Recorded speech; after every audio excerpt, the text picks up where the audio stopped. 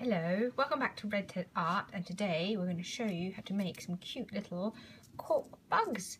Great for just because or they're sort of love bugs because you can use heart shapes to make the wings or for spring or just to decorate your garden in the summer. Now don't forget to subscribe to Red Ted Art, we'd love to see you again soon. So let's move these a little bit out of the way so that we can get making.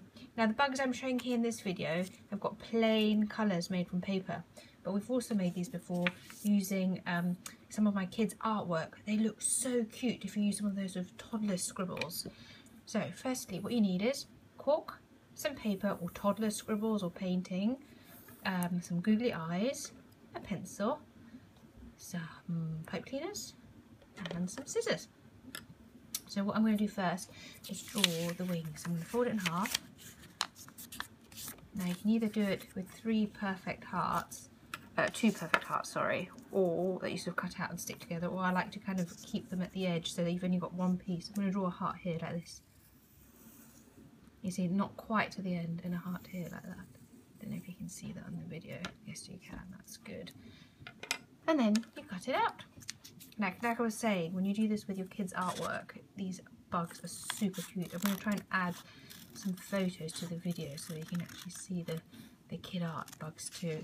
And if you do the kid art bug, what you can do is you can um, experiment with colours and do a bit of colour theory. So basically you give the child some blue and some yellow and get them to mix it up and see what happens. Here we go. Oh, lovely great big wings. These look awesome, don't they?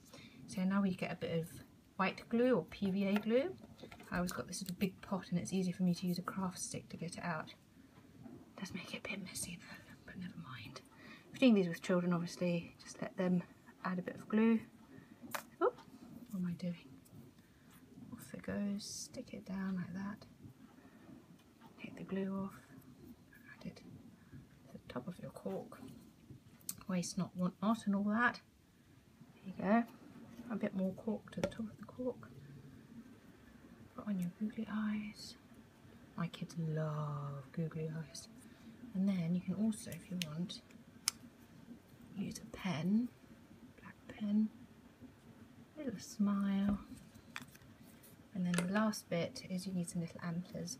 And normally when I do cork crafts for sort of older kids or, you know, just for me, um, I'll make little holes at the top of the cork and I will poke them in.